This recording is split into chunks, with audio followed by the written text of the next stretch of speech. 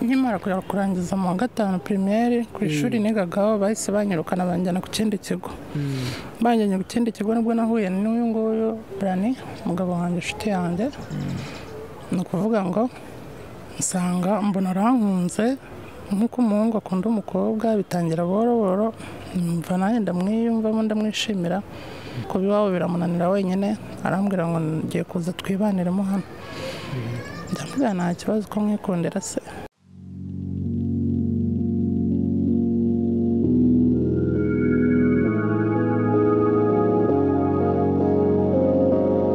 Hirya no hino ku isi ugenda wumva amakuru y'abakora imibonano mpuzabitsina babihuje umugabo ku mugabo cyangwa umugore ku mugore.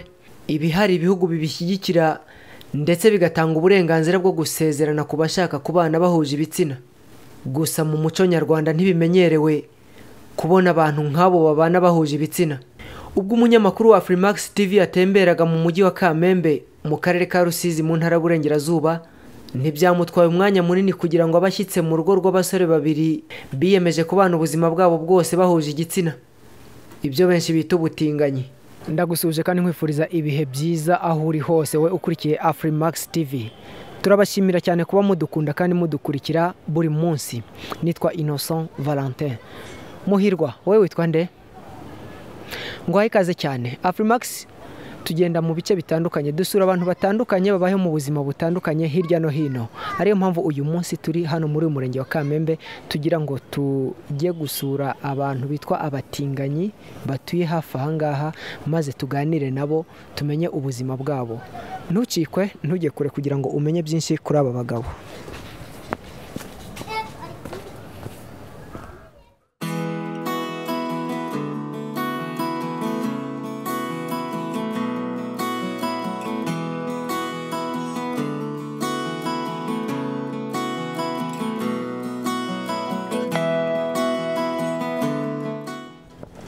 Aba hano muri aho?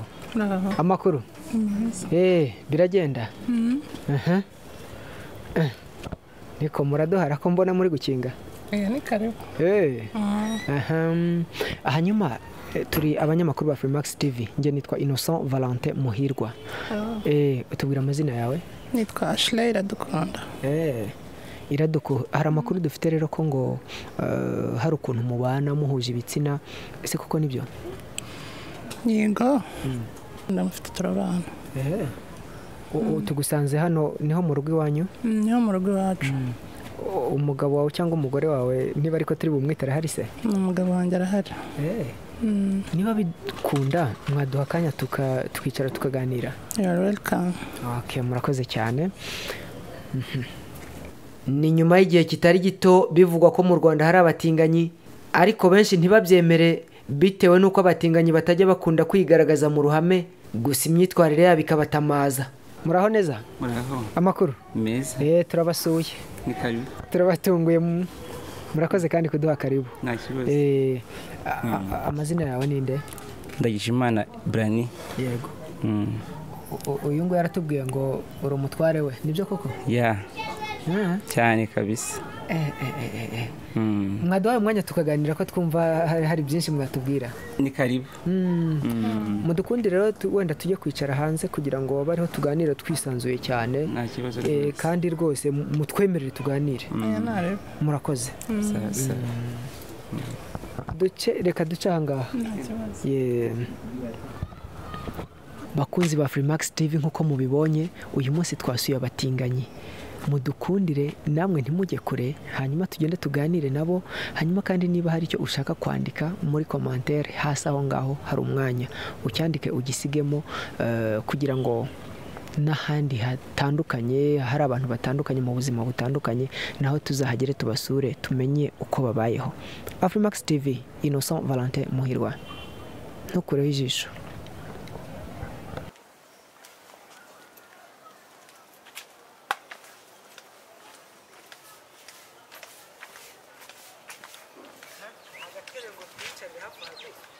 Sheri zana izo ntebe twicareho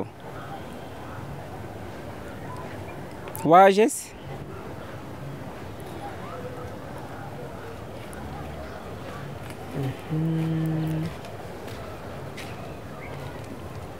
Yewe urakoze.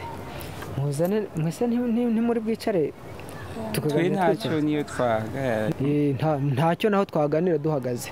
Eh, Eh, aba basore bombi baganira na Afrimax TV bavuze ko ngo batangiye kwiyumvamo iyi myitwarire kuva mu bwana bwabo maze uko bagenda bakura bibakukiramo ku buryo ngo ubu nta mukobwa bashobora kwegera.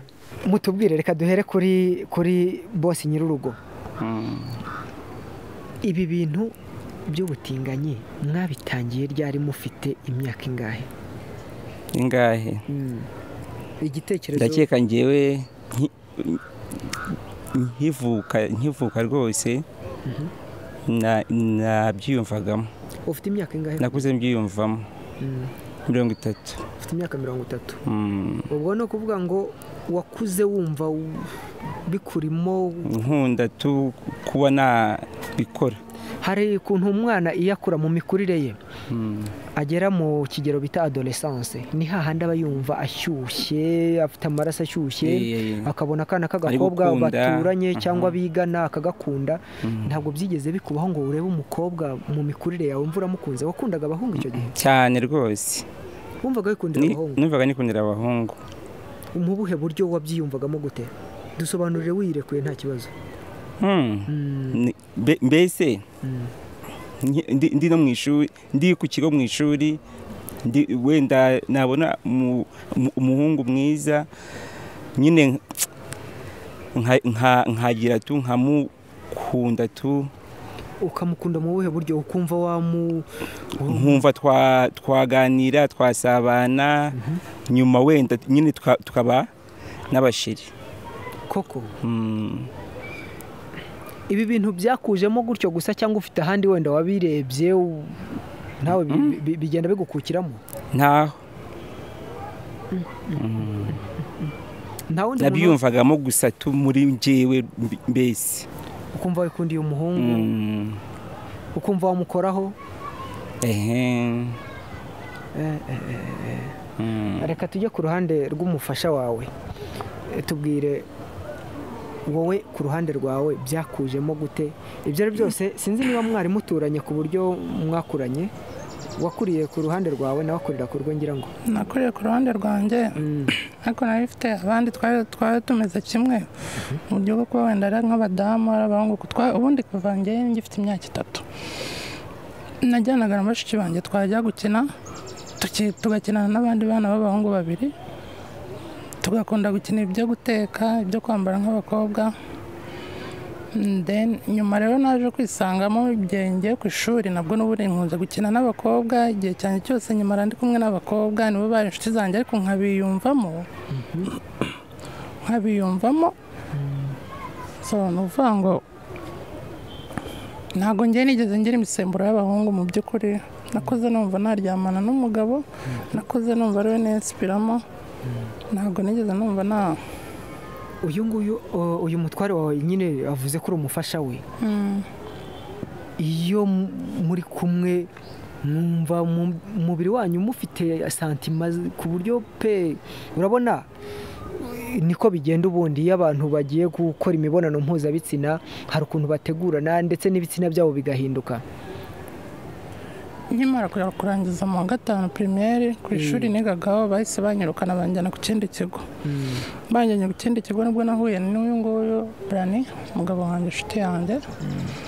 Ni ukuvuga ngo nsanga mbona arankunze nk'uko umuhungu akunda umukobwa bitangira buhoro buhoro numva nanjye ndamwiyumvamo ndamwishimira.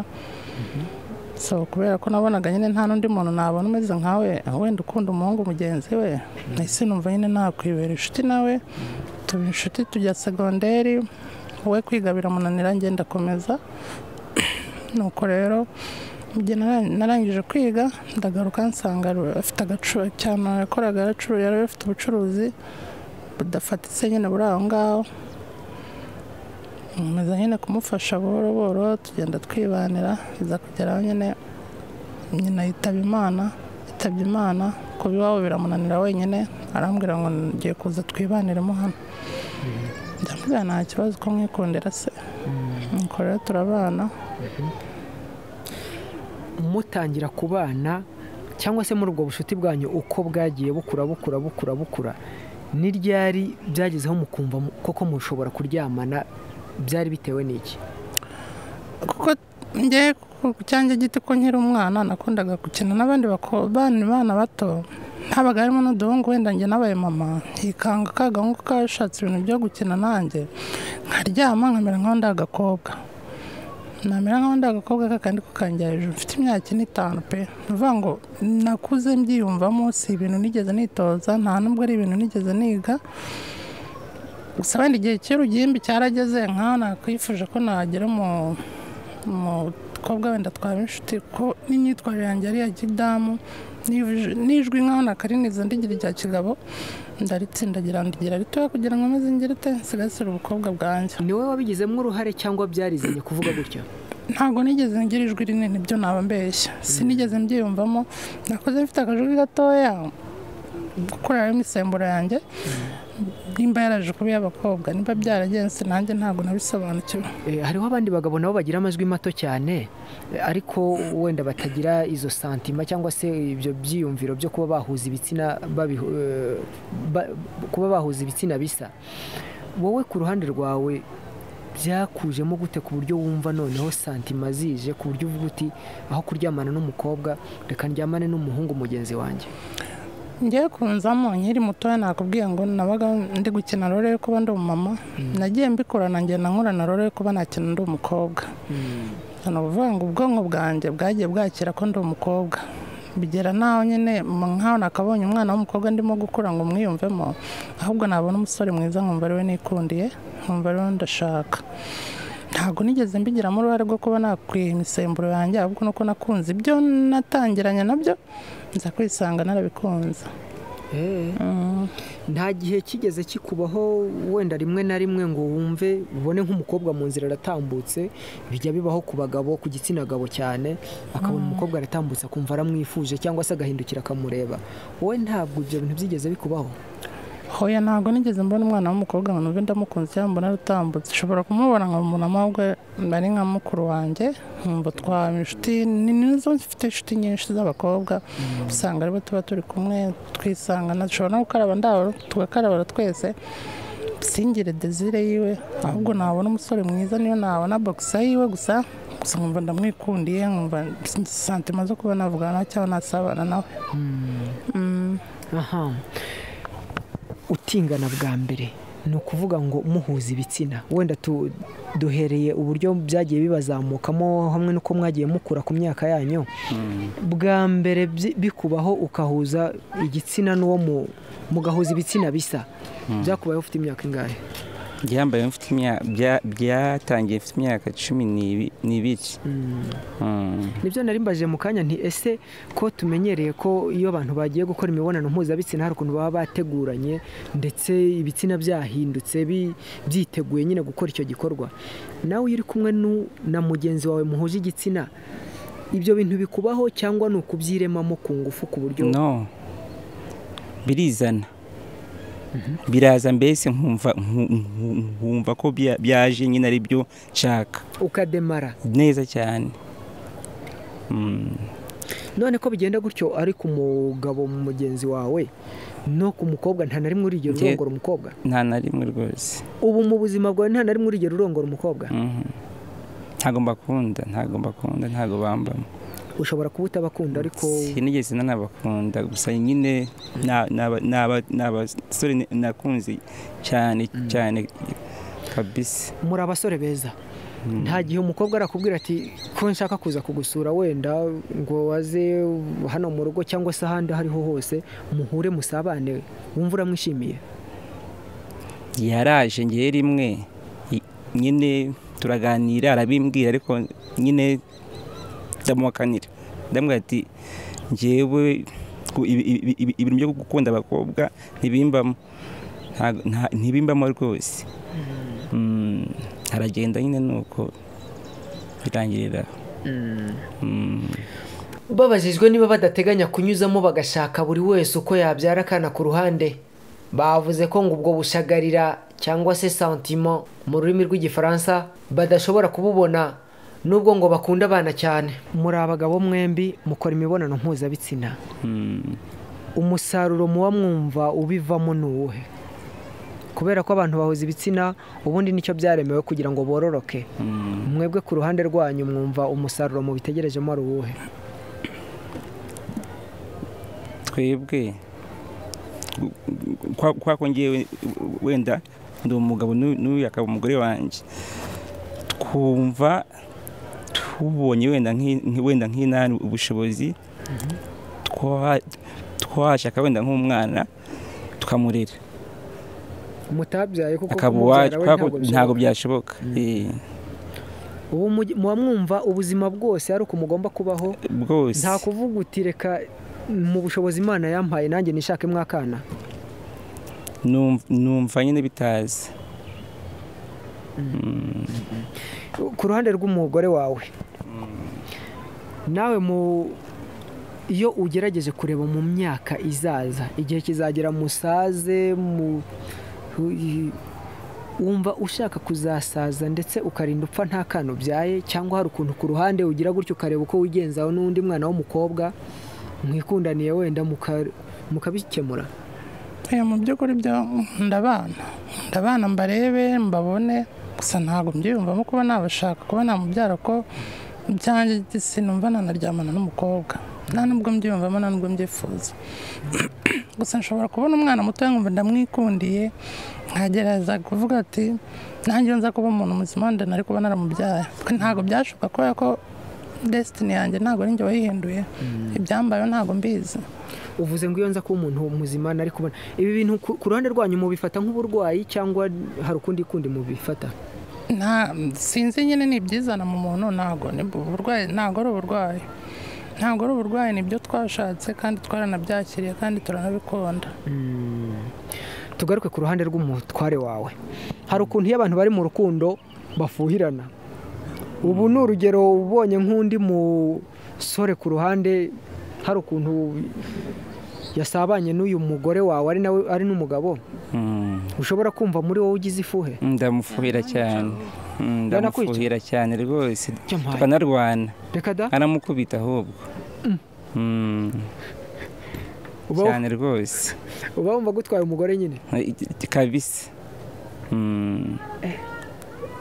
Yampaye nka. Mm. ku ruhande rwawe ubu ntushobora kuvuga uti ntabwo ahari ntari kumbona reka nshaka umwana w'umukobwa mukuru.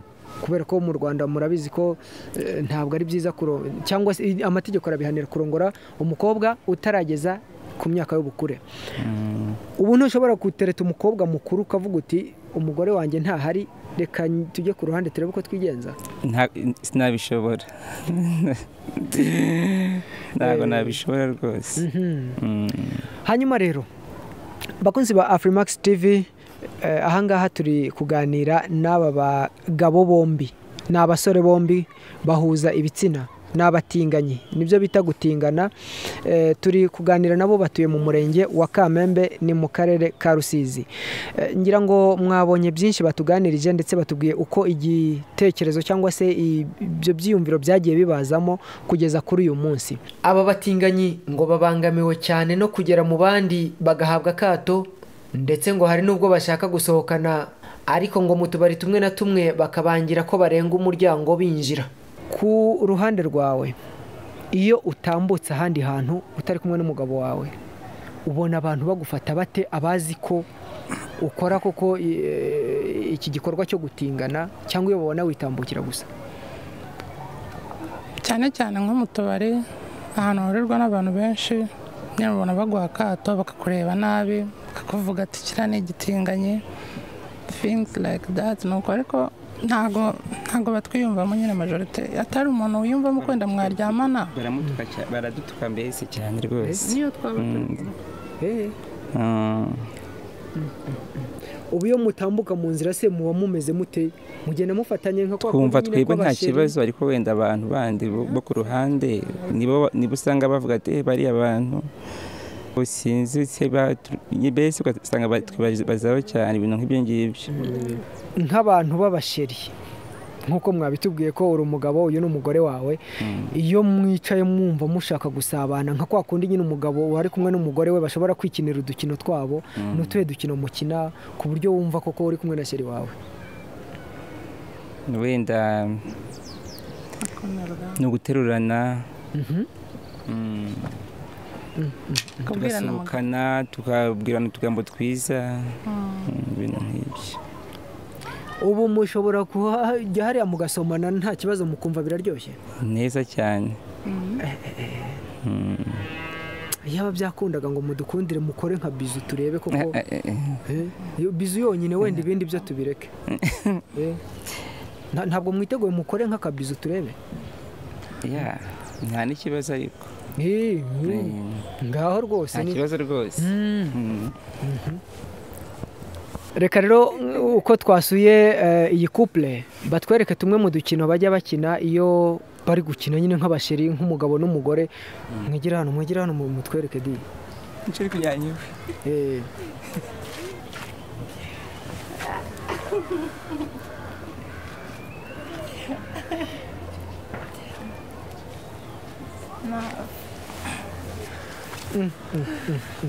Uzi ko mwakimaze. Nta kundi nubwo abatinganyi badakunda kugaragara mu ruhame nta tegeko ribahana. Gusa itegeko nshinga ry'u rwanda ryatowe muri bibiri n'itatu rikongera kuvugururwa muri bibiri na cumi n'itanu riteganya ko umugabo n'umugore ari bo bashyingiranwa gusa. Ndabashimiye cyane rero kuba mukunda afurimax tv ndabashimiye kandi kuba mwakunze iyi videwo niba ushaka ko amakuru ya afurimax tv azajya kugeraho buri munsi kanda wanditse subscribe. Kandi ukande no kuri iyo nzogera maze buri makuru ya buri munsi azajya akugeraho. Nitwa innocent valentin muhirwa imana y'u rwanda ihorana namwe.